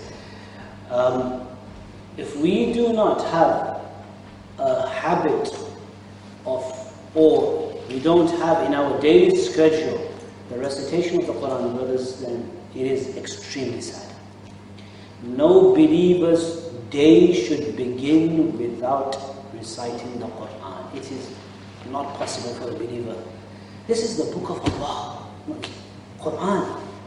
We have time, we've read every website, googlesharif.com, hafidahullah, eBay, rahmatullahi alayhi, and all, everything, like every magazine, we have time to read everything. The book of Allah that Allah has given us, this is not kalam of makhluk, this is the kalam of Allah, the speech of Allah.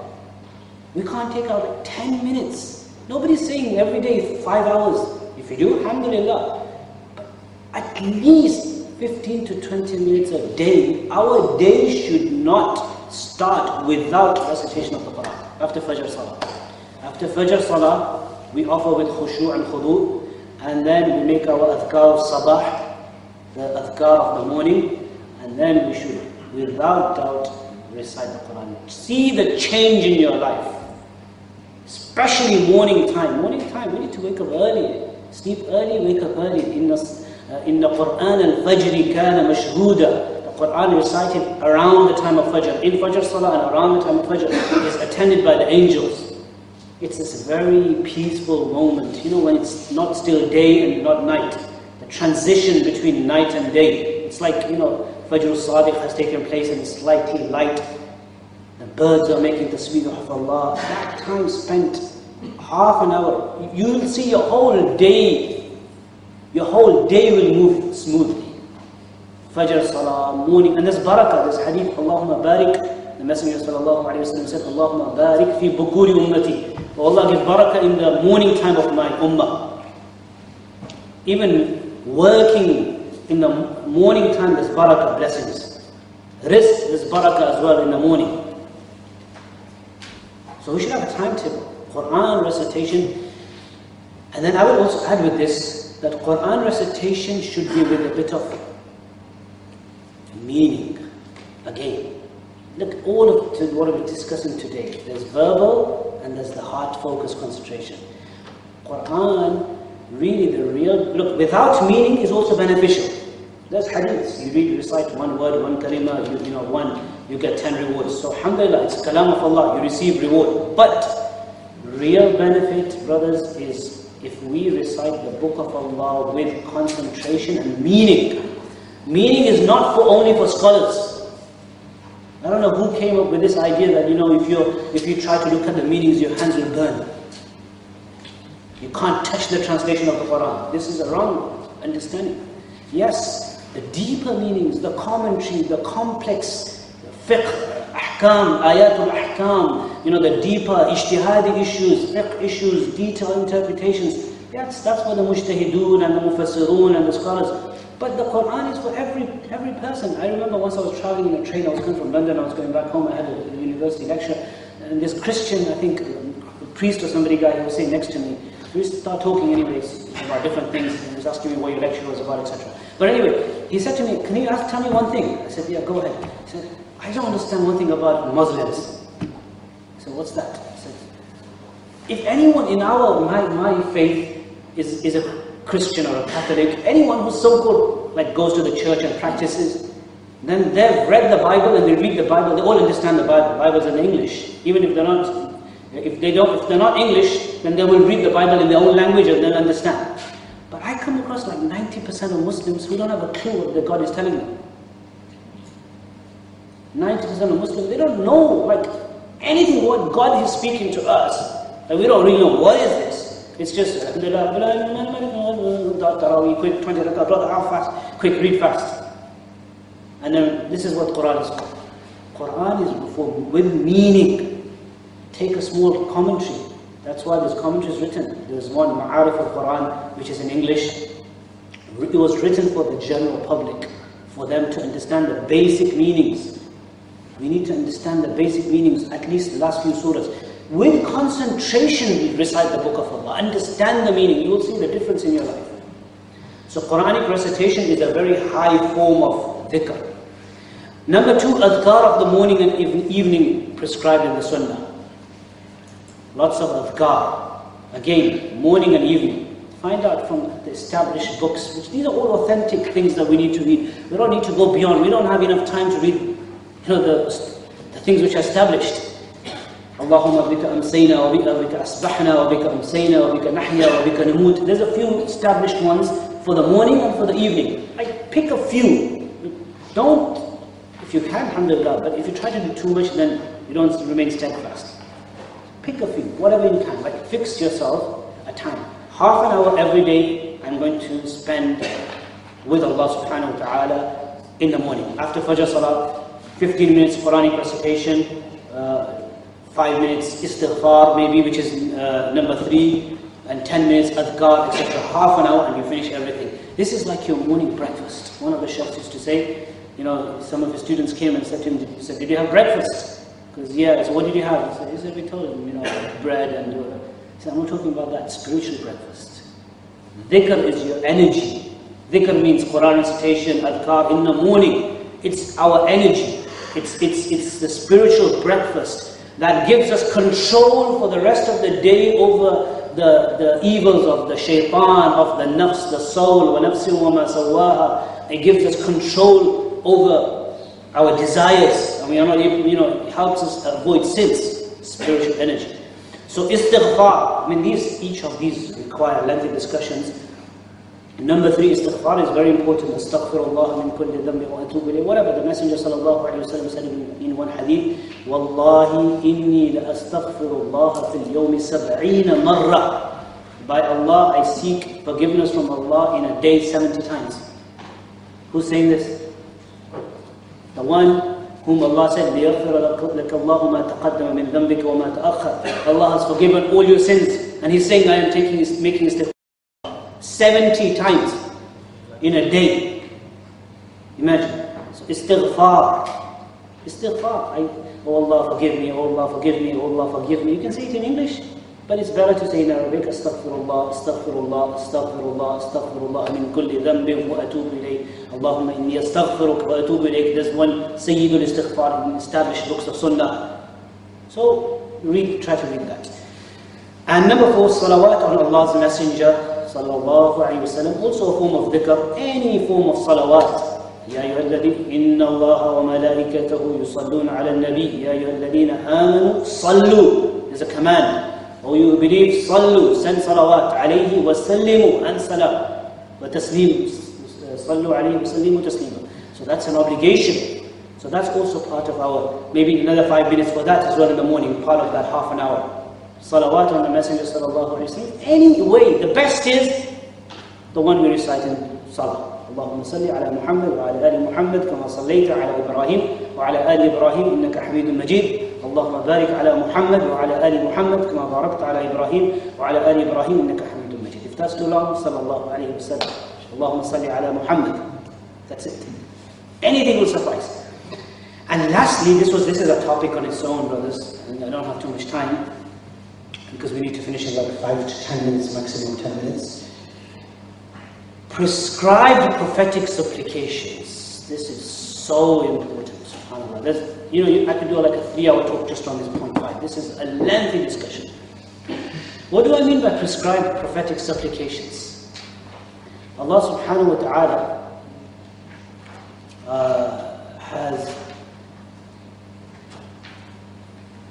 given us, through the medium of the Messenger sallam, taught us how to make dua. How to make dua. These are ad'iyah ma'thura. These are established, established, authentic, established prophetic du'as, supplications. You know, waking up dua, sleeping dua, entering the toilet dua. At every moment, you know, some of the scholars say that these du'as are so unique. They are actually, this, these supplications are a miracle of the Messenger. You know, these du'as, each one of them, actually I was telling some, some brother somewhere that we should do a course. Each dua requires half an hour explanation. Each dua, one of my teachers once mentioned that these du'as are the miracle of the Messenger because each word has so much deep meaning in them. Deep meaning, again with focus, not just lip service. No, why we're reading it? With the meaning, it's unique, and these are you can. This is one of the. It's a sign of the Messenger sallallahu alaihi wasallam being the, the true prophet of Allah, because it's not possible to for anyone to say those words except that it's from Allah. It's so deep, it's unique. These are the miracles, these du'as. And, and because we are so busy in life, these du'as have been prescribed for every moment, like new moment in life. Wake up, it's a change. Going to the toilet, it's a change. Coming out of the toilet, change. Going to the masjid, change. Wudu, change. Entering the house, it's a change in life. Exiting the house, a change. Traveling, sitting in the car, returning home, sleeping. At every moment, again, this is in order to keep our connection with Allah, be connected with Him all the time. Every dua. We wake up in the morning, Alhamdulillah alladhi ahyana بعدما أماتنا وإليه النشور. It's an established dua. Why do we say that? Because we were dead at night. The Quran says الله يتوفى الأنفس حين موتها والتي لم تمت في منامها فيمسك التي قضى عليها الموت ويرسل الأخرى إلى أجل مسمى. Allah takes the soul away at night. And if you, if, and for some people he releases the soul, for some people he doesn't release, like we die, we don't wake up in the morning. Actually there's a 50-50% chance of not waking up in the morning, even medically. So if the soul is taken away. Alhamdulillah. With the thought, think, all praise to Allah, Ahyana, who gave us life again, Ba'dama amatana, after He made us, he, he took life away, after He took life away from us. وَإِلَيْهِ النُّشُورُ Well, today He's given us the soul back, but there will be a time that we, He won't come back, the soul. وَإِلَيْهِ النُّشُورُ Then the first thing we do, we go into the bathroom. غفر اللهم uh, sorry الحمد uh, اللهم إني أعوذ بك من الخبث والخبائث Oh Allah, I seek your protection from the male impure shaitan and the female impure shaitan. Why? There's deep meanings. I'm just summarizing. Like I can, as I said, half an hour on each dua. Why are you seeking the protection? Because these, the Messenger ﷺ said in another hadith that these places, uh, uh, these washrooms and toilets are where in هذه الحشوش because impure, like the shayateen, they, they like to stay in impure places. So seek the protection of Allah. In the Sunan of Abi Dawud, in Sahih Bukhari, the dua is there. So, because these impure shayateen, they could harm you physically or spiritually, or you know, like, you know, Islamically, they could make you do something wrong, your, your awrah is exposed, you know, your nakedness is exposed, najasa, etc. So we just seek the protection of Allah from all male and female. Khubuth wal khaba'ith. Then you come out, ghufranak. Oh Allah, I seek your forgiveness. Why? Did you rob somebody? Why are you seeking forgiveness right now? Well, because we're thinking, we're seeking forgiveness from Allah, because oh Allah, this is a great ni'mah of yours, and I have not, I'm not able to thank you because this, you know, and then after that, غفرانك الحمد لله الذي أذهب عني الأذى وعافاني. All praise to Allah who removed the dirt from my stomach and gave me afiyah. This actually dua, you can talk about it in one hour because it's, a, it's talking about the amazing machinery that Allah has created in every human being's stomach. Because when we eat, we eat, we don't think. We eat, we eat for our taste. We eat anything, rice and you know, sweets and dishes and whatever. All the food goes into our body. There's a automatic. We go to sleep at night, sleeping. What's happening? Allah's machine is working. That machine, there's different aspects. There's, there's the liver aspect, that aspect, different aspects. From that food, some amount of it is making blood. Some part of that food energy is being created to make the bone solid. Some for the skin, some for the meat. The residue, because some part of food is not good for us. It's unhealthy. The unhealthy dirt is like a syringe. It's being put away to the side. In the morning you go, the machine is ready, done its work. We are just sleeping, Allah did all the work. You go inside the toilet and release that residue. This is the meaning of أذهب عني الأذى وعافاني. There's actually another dua. The Messenger sallallahu alayhi wa sallam, he said, الحمد لله الذي أذاقني لذته وأبقى في قوته. All thanks to Allah who gave me the taste of the food. وأذاقني أذاقني لذته وأبقى في قوته. And the power and strength He kept it within my body. And uh, the last part, does anybody know this dua, the other one? أذاقني لذته وأبقى في قوته yeah, وأذهب عني أذاه and the harmful aspects of the food he removed it away from me with this thought you make the dua even teach your children teach your children you know with the meanings I have a six-year-old son I, have been teaching him du'as since he's been four, five, four but I make him like whatever translation when he goes in the toilet so okay stand he says okay wait wait okay he makes and he reads he, he has to put the, of course, the left foot in first. They say, okay, Allah, I'm going inside the toilet, please, there's so many men and women, male and female shaitan, the bad ones, uh, and you know, the really filthy bad ones and the harmful ones, please protect me, I don't want to get hurt in, in the toilet. He'll read Arabic and then he'll read this. Then when he comes out, I say, okay, read the dua. I say, غفرانك, alhamdulillah, الذي أذهب عني الأذى وعافاني. Oh Allah, thank you that all my tummy is now clean, otherwise I'd, you know, I'd become very, very ill, and thank you for taking all the dirty things away from my stomach. Let them do it in their translation. The meaning has to be in the head. for full benefit of all these du'as. And then wudu time, you know, you know the wudu, the hadith says when you wash your organ, all the impurities, sagha'ir, sins are being washed. Believe it, look at it. Wash your hands while you're doing wudu. Alhamdulillah, all the sins are being washed. And you make the niyyah before and say Bismillah. Why do we say Bismillah? You need a whole hour on just on Bismillah. And then the Messenger wa after wudu, he would recite, Allahumma ij'alni min al-tawwabin, waj'alni min al-mutatahhirin. These are all forms of dhikr. Why are we making this dua at this time? There's a meaning behind that as well. Min al-tawwabin, mutatahhirin. Oh Allah, become physically pure but make me spiritually pure. Min al-mutatahhirin. And then carries on, carries on, you know, even night sleeping, alhamdulillah, الذي, uh, sorry, Allahumma بِإِسْمِكَ أَمُوتُ وَأَحْيَا اللهم قيني عذابك يوم تبعث عبادك Sit in the car traveling, سبحان الذي سخر لنا Oh Allah, all praises to you for you Allah. سخر لنا هذا This car was not in anyone's or our control. This plane, this car, this, you know, Ferrari or this helicopter or this, you know, whatever car you, وَمَا كُنَّا لَهُ مُقْرِنِينَ This is, you have subjugated this. Again, I mentioned my son, when he used to this when he was four years old, he sits in the car, he says, سُبْحَانَ الَّذِي سَخَّرَ لَنَا نِسَانَ وَمَا كُنَّا لَهُ مُقْرِنِينَ وَإِنَّا إِلَىٰ رَبِّنَا لَمُنْقَلِبُونَ He chose that himself because هذا means, oh Allah, you put this, whatever this is, if it's a car, if it's a plane, you put this under control. So when I told him the meaning, he said, can I just change the hada to Nissan? I said, go and change it. Of course, you're not supposed to when he grows up, but uh, you know, the prophetic words.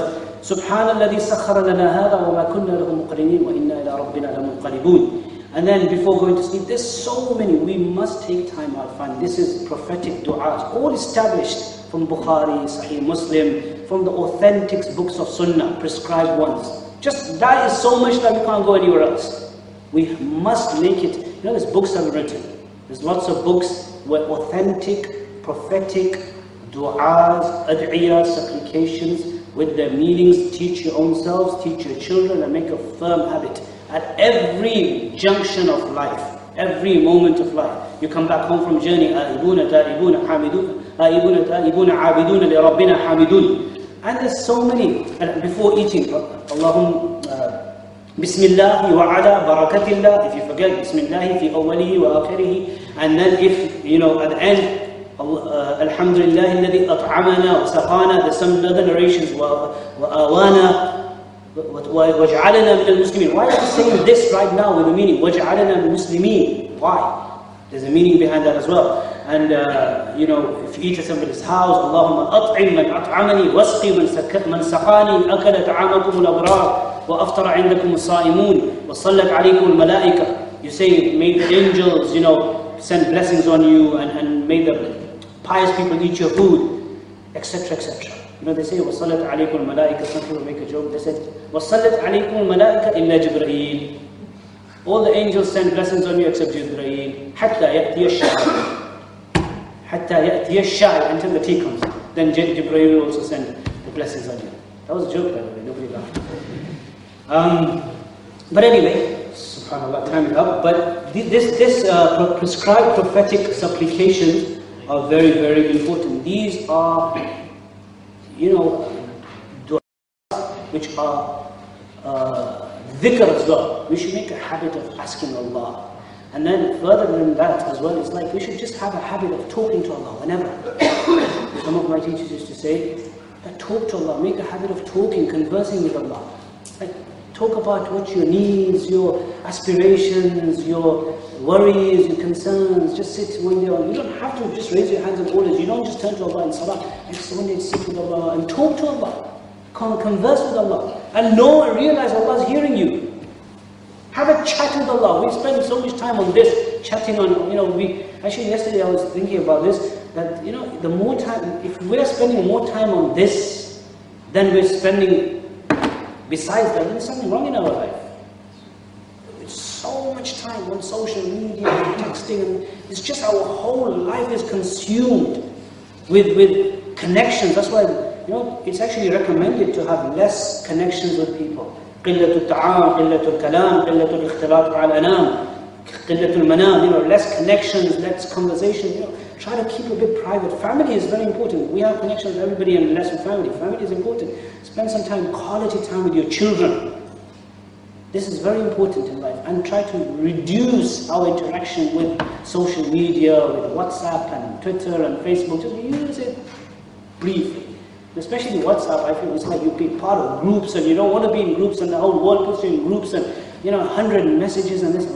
Alhamdulillah, I'm still not on WhatsApp. I'm, I do not think I ever will be, but this, it, it, seriously, we get consumed by all of this. So I'm not saying it's haram, it's good, there's beneficial things as well, so don't take it out of context. But um, the point is that we just need to try to spend some time for ourselves and our connection with Allah subhanahu wa ta'ala and try to get have this deep understanding of this deen. May Allah subhanahu wa ta'ala grant us the tawfiq and to act upon it inshallah and make, may He allow us to have khushu and khudu and concentration. كلام لسه كله قولي هذا واستغفر الله وصلى الله وسلم على سيدنا محمد والسلام عليكم